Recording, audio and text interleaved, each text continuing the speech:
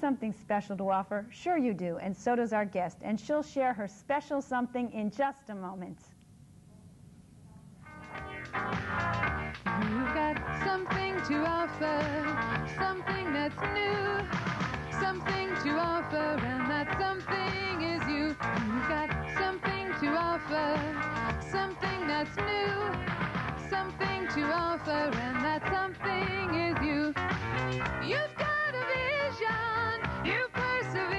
Something to Offer, the show that spotlights people living their dreams and making a difference. And now the host of our show, Anne Marie Offer. Something to offer, and that something is you. My guest today is the founder and driving force behind the Motown Historical Museum.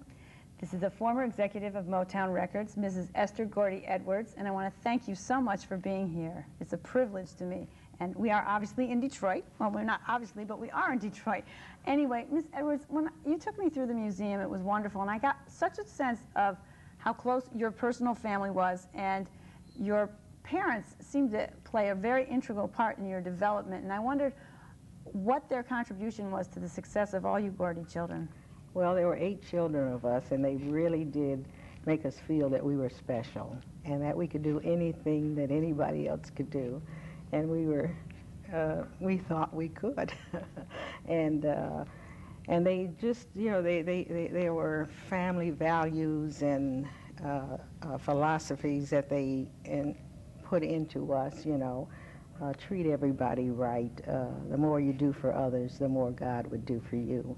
And uh, whatever you do, be what you want to be, and uh, just be the best at it.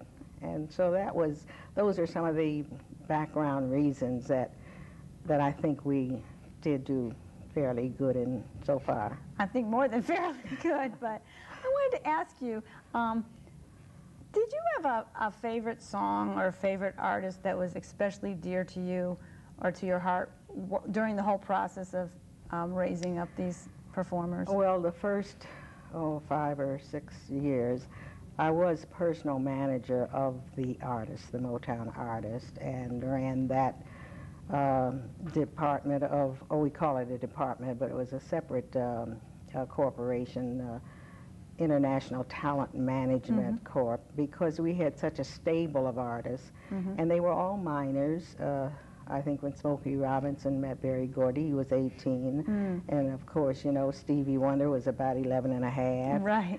And the Supremes were 16 and 17, and uh, um, you know the Please Mr. Postman girls were 15 and 16, and um, the Miracle. I mean, just the, the the the artists that went on to become so famous throughout the world, the Four Tops, the Temptations, and all. And so I was ran the, what was personal manager, you know, charting the career what engagements they take, what they don't take, how they travel, who travels with them, uh, chaperones, uh, road managers, and and that sort of thing. And so, I really loved them all. um, if you favorites, you know, in a family, usually the babies are are favorites. You know. Uh, you know, in a manner of speaking, uh, Stevie Wonder was was one of the artists that I, I traveled a lot with, and you know, he was only 12 years old when he really got They his used to call hit. Little Stevie Wonder. Little Stevie Wonder, and of course, uh, as I said, I really love them all. Smokey Robinson, Marvin Gaye was a uh, someone else that took a lot of my time. Uh, Marvin was different, and uh, and there were just uh, you know just all of them. Uh, Junior Walker, everybody. It's good you didn't like play favorites then. Oh no, I, I, I acted like my parents. We all thought w- when they passed away or before, we each one thought we were the favorite. But uh, we found out that everyone felt the same way, and we didn't know it.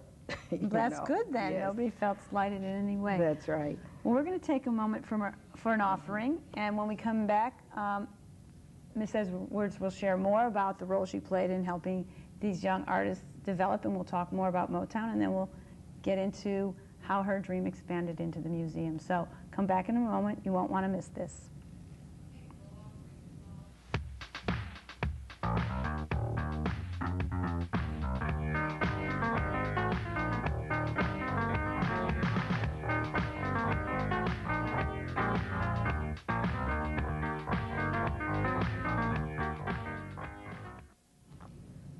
Back with Miss Edwards.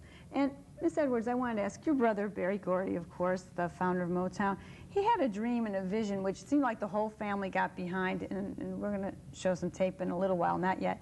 Um, but I wanted you to share, if you could, a bit of the journey uh, in the process of the development of Motown, because you were right alongside him all the way. So. Yes. Well, that's true. However, I must say that Berry Gordy did not set out to build a Motown corporation Right. uh, as it became. He really had just opted to not work in the job that he had. He quit his good $85 a week job at the on the assembly line of Ford Motor Company because he just could not do that routine that well he called it a monotony uh, monotonous job you know here comes a frame and it rolls down someone does something to it and then he gets in and does something Assembly line. but um, the one thing he did, so he just upped and quit that good $85 a week job, and he, uh, his parents, his wife at the time, and all went, well, what are you going to do? What are you, how are you going to make money? What are you going to do, Berry? Well, I'll just write songs, he said. Write, write songs? You got to get a real job. so uh, he was determined that he wanted to enjoy what he was doing, that he really had to enjoy what he was doing, and he was creative all the time, even from a, a young kid. He was always uh, writing songs and, and uh, creating things. Uh, and so consequently, um, he just started uh, writing songs and, and um, of course, he uh, lost his first family for a while there because he was divorced, and uh, and he started hanging around a publishing house, and he wrote songs for Jackie Wilson, Reet Petite, To Be Loved, I'm Wondering, That's Why Lonely Teardrops, and uh, then he thought, well, I'll get me an artist, and um, because Jackie was someone else's artist, and I'll get me an artist, and I will write for them, and I will make records, and I will take them to New York and sell them to major companies. And so that was his uh, dream, and the house he bought, which is now Hitsville, USA, and which now uh, is a part of the Motown Historical Museum, that original house where he lived upstairs. And he told me once, he said, if I ever get this house paid for, I've got it made. He said, I will write songs, I will make records, and I will take them and sell them. And then I will make a deal with the record company to keep their artists. I will manage the artists, he said, but they, I will keep that artist in hit material. And um, so that was the way he, he started out. Yeah, very determined. I like, you know, that he named the house even Hitsville, USA is like a definite determination. Absolutely. No, you know, no bombs. They're all going to be hits. It's really great. I wanted to ask, did you always want to be part of this industry? And when does like the dream or goal of someone else that you care about become your own, or how did it become your own or part of your own? Well, I tell you, I finished uh, uh, high school, Cass Tech High School in Detroit. I went on to college, and all through my uh, years of uh, curriculum, uh, my, my, uh, my curriculum was science and chemistry major, and that's what I took. I never intended, and I don't consider myself being creative, uh, s- such as writing songs or shaping shows and that sort of thing. Uh, but I, having grown up the family, having grown up in business, you know, we grew up in a grocery business from the time that we could walk or talk. We had to work in the grocery business. We didn't know what we wanted to be when we grew up, but we knew we did not want to be in the grocery business. And so Berry Gordy was just a youngster that was genius from a kid.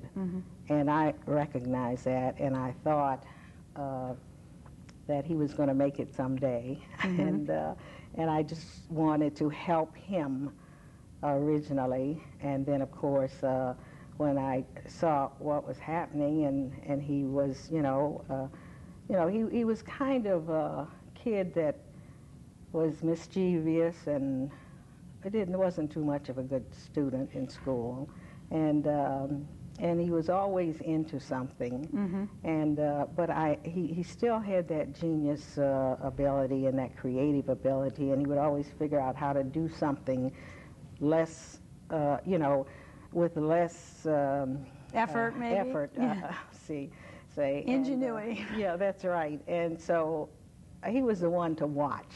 And uh, so that's how I got involved with him from the before the beginning.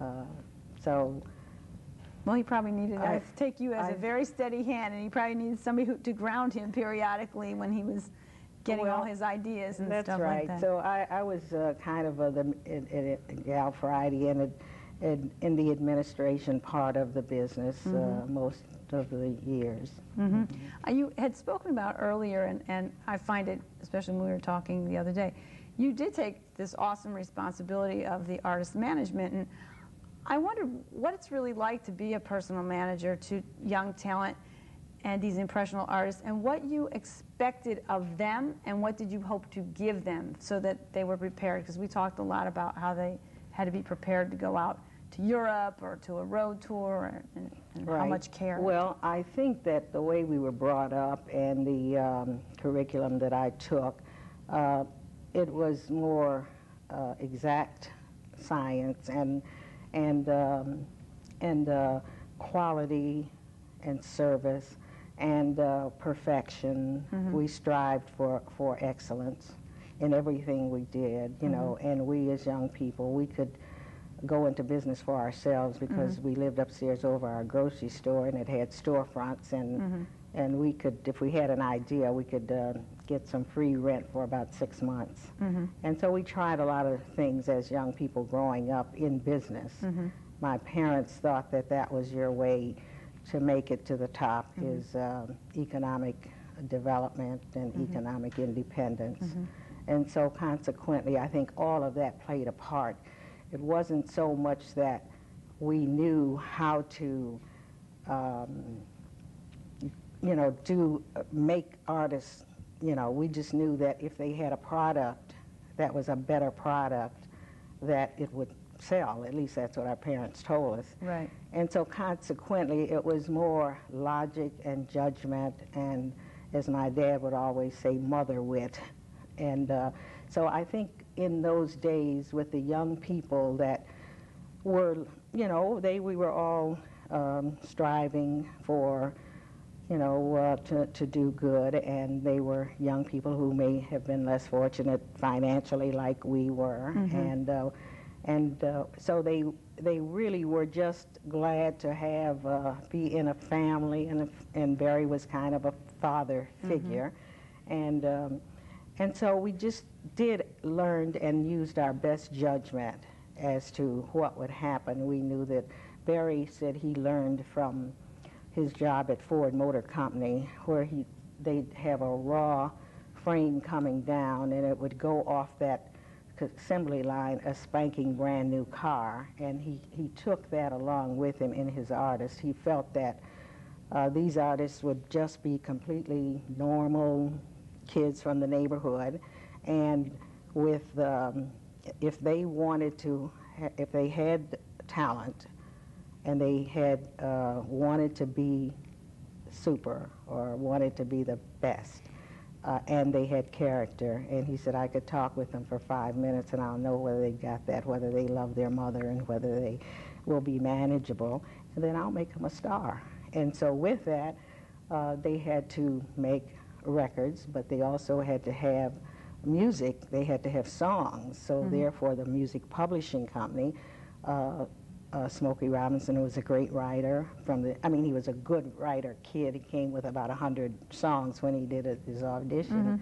And, uh, uh, and then Berry Gordy, and then, of course, even Stevie Wonder, Marvin Gaye, and all of those that never r- had written songs before, they learned, many of the artists became writers, you see. So it was just based on, um, uh, Berry was a very liberal, free person that gave uh, um, uh, young people with with uh, creativity, uh, he just uh, uh, just do it, just do it, try it. It's you kind of like he let the garden grow. Yes, that's Yeah. right. You could walk in off the street and uh, just start doing something at Motown, and the next thing you knew, you'd have a job. You know. I know. I was going to ask, and you covered a lot of it. When we were going through, I just, you know, the whole idea of being a surrogate family, and it sounds like in, back in the days, those doors were always open. Somebody was upstairs, probably grabbing something to eat or something to drink, That's right. going to record, practicing, working. It was a hustling, bustling That's place. right. I think it was a. Sometimes you have to have an environment to be creative, and it seems like Absolutely. the Gordys provided that. Well, that house, Berry Gordy lived upstairs at his office down front, the recording studio.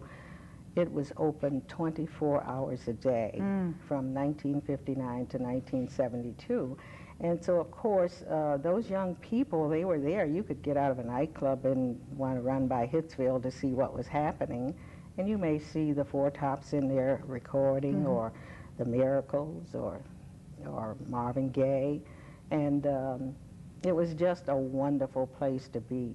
And, uh, and, and they, would- or else they'd be rehearsing or writing. Uh, I, I heard one of the um, um, Four Tops say, uh, Levi, he said, uh, you know, he'd get an idea and he'd call the other fellows uh, at midnight or so. Said, hey guys, let's let's run over to Hitsville. We want to. Uh, I got an idea, and they'd be there, and they'd just be there working and all like that. So that was the atmosphere around there, Right. and it was just wonderful. It's like a laboratory for all the experiments that we're so grateful for. Um, you, you know, as we said, it wasn't necessarily Mr. Gordy's intention to like have this big thing, but it happened, and he built this incredible, quite an empire in Detroit, which contributed to this community, and his efforts con- contributed to all over the United States and the world. Um, were, you ever, were you ever surprised, or was he ever surprised or shocked at the magnitude of the impact of his efforts? Does he ever kind of go, "Oh my goodness," I'm, or did you ever go? I don't. I don't think that um, that ever. You know, we we never. I, I was surprised when the headquarters moved to California that so many foreign visitors would show up in Detroit. They'd say they come to America to come to Detroit to come to uh, the Motown.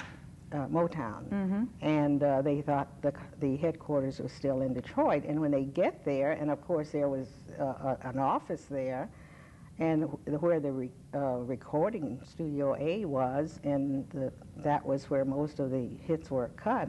And uh, they would just show me their arms. They'd get goose pimple, pimples and uh, chills. They said just standing in the studio where all of these artists had recorded.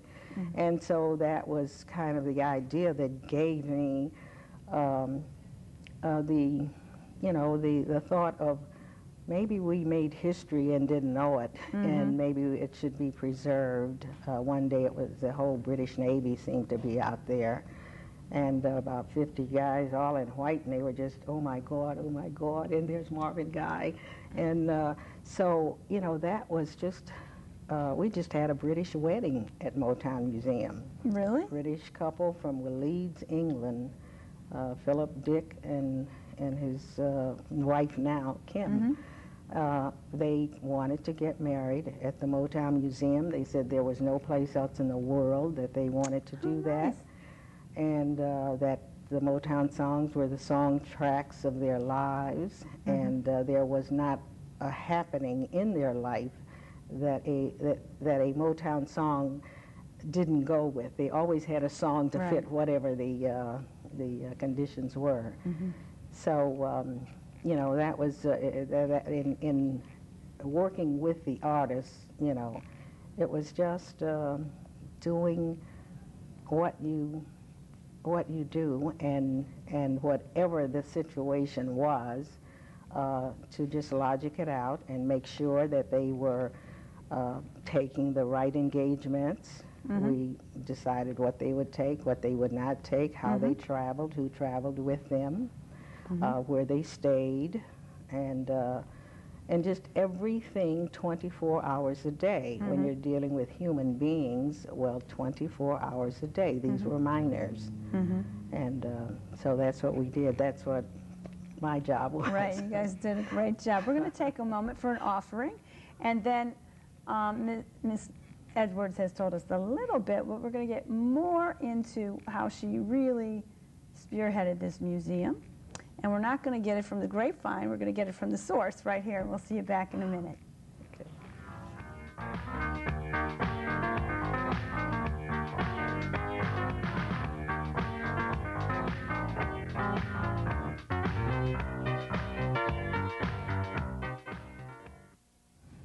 We're back, and Miss Edwards, it's, I know we talked yesterday, and you just mentioned about how many people have come from all over the world, and you are, the- I really feel you're the heart and the beat behind this museum. I think probably left to your brother, it might not have happened. I don't want to criticize him or anything, but when did you decide it was your mission? Was it when you saw those soldiers, or that you know we needed to have a museum, and you sort of slid that into your brother on the sly, kind of subtly? Well, actually, um, when I called him after the Motown 25 special, because we logged 600 phone calls and the headquarters had moved to Hollywood, California, and uh, people were just calling from all over the country complimenting that TV special, and we got several calls from uh, Europe. And I called to Berry and I said, you know, how many, are you all getting calls? And of course he said, what kind of, what calls? And when I told him what was happening, it was then that I said, you know, maybe we really ought to uh, try to save this uh, history and, and disseminate it and encourage young people and the future generations. And of course, um, he said that uh, I'm not going to be in the museum business because I don't know anything about it. Um, I've got all this business out here that I've got to think about, so don't even ask me about a museum. And of course, since I was in Detroit and I was running just the, the, the all of the headquarters and the artists were in California, but there were a lot of things uh, that at the, we had offices in New York and Toronto and and England, and so uh, I was the our office was a liaison for that and public relations and that sort of thing. But now um, I just said, well, fine, and went on and and thought, well, how can we do this? I'm a pack rat anyway. I save, save, save ever since I was traveling a lot with the mm-hmm. artist, and then at one time for a f- number of years I ran our international operations, mm-hmm. setting up licensees and sub-publishers. And so I've been around quite a quite a part of the world just uh, working with that, along with everything that went on in America. It went on around the mm-hmm. world, even the artists' engagements and things. And so that that international part of it, Motown was my. I was heading up that department too, and so consequently. Um, um, I just had saved a lot of things, and of course, the normal artifacts, the recording studio A is just as it was in the '60s. You come there, you look in the control room, you see where the the uh, producers of records and things they they wore the floor out by you know keeping time with the music. And and you see the baby grand piano the um, you know all of the other instruments the drums and Right. the the uh, um, you know isolation booths and things. That was there 50, in 60s in the 60s and all because So they did you- not take that. you had so your all of that is we had the fundamentals for preserving it but then of course it just became how do we do this so i thought mm-hmm. well let me see maybe i'll just do a public museum be nonprofit and then i can ask for Right. people to support us and that sort of thing so Right. that's exactly how it happened Okay, so I have so many more questions, but I want to make sure we show the video and you can explain a little bit about, we were able to shoot a little bit of the museum and it should come up momentarily. And I wanted to ask, was, were this, while they're bringing up the video, were the steps difficult to become a museum? Did you face any roadblocks or was it pretty smooth sailing to get it established as a museum? not really Oh, here we go. Oh, I'm sorry. Oh, well, that's at Hitsville, USA. Yeah. It's historical house. You know, the state of Michigan declared it a historic site. Right, that's a that landmark, there. uh, yeah. Yes, uh-huh. And this is that's hard- the way yeah. Mm-hmm. we grew down the street. When Berry Gordy needed more space, he said, buy another house, buy another house. We had eight houses Mm-hmm. on the, uh, seven on one side, and then we bought the one right across the street. And this is the, the artist. This is a part of the personal management. Mm-hmm. This is the first tour, Motortown Revue tour that went on the road. It Mm-hmm. was called Motortown Special. But that is the troop that went out. You see there the the uh, the uh, contours. Do you love me was a big song, and Mhm. the Supremes and Martha and the Vandellas and the Marvelettes and and um, um, um, Mary Wells was on that tour. And this is fascinating. This is, you guys had that cooperative, a family financial Yes, cooperative? well, we, that's where Berry Gordy borrowed the $800 to, to make his first record of his own uh, from the family savings club. There he wrote a little note to influence the vote because he had to pay an interest because he was borrowing more than he had saved. And, um, and he had to get a 100% vote uh, before he could get that $800. He used that money to make that record called Come to Me by Marv Johnson. He sold that record to United Artists Recording Company, and Marv Johnson became a United Artists recording star. And There uh, you are, Well, there I am. doing your job. Yep, uh-huh.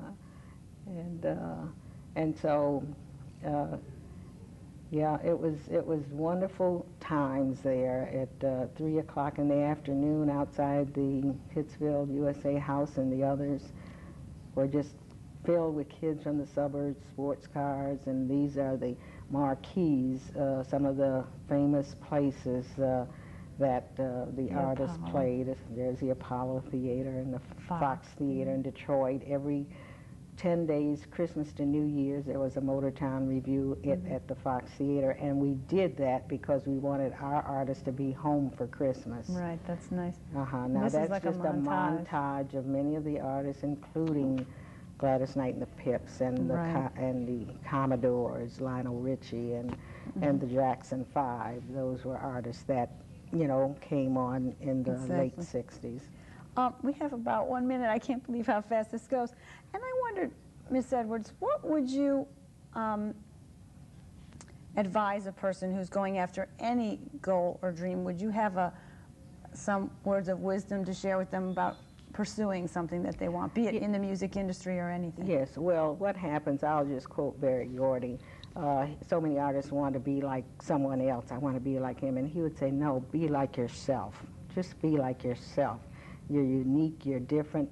Be yourself. And, uh, and that the, was the way it was in our family. There were eight of us, and uh, we could become anything that we were interested in, you see. And so we started out. My sister Gwen uh, Gordy Fuqua, who now uh, owns uh, her, I mean, she has a, a publishing company herself, Sweet Love, that uh, Anita Baker does, is hers, and, and others. And then she was the first entrepreneur in the family, and she had a two table pool room when she was 18. Wow. And so we could be anything that we thought. It's something that you like to do. Whatever you want to do, then you pursue that and then do the very best you can. Okay, And, and so I've that got- is it. I gotta go. So until next time, do the very best you can, and thank you for joining Yes. us. Thank you so much. Oh, it was wonderful was to be mine. here.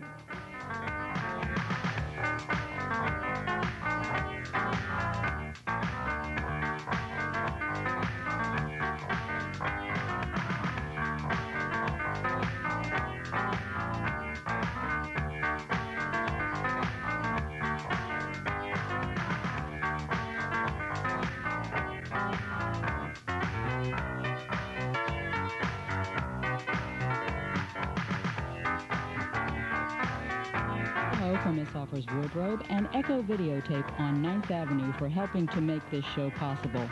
But we would especially like to thank you for watching. I'm Jeannie Devlin. We look forward to having you with us next week, and in the meantime, remember, the world needs what you have to offer. To all you internet users, please visit us on www.freeinfo.com.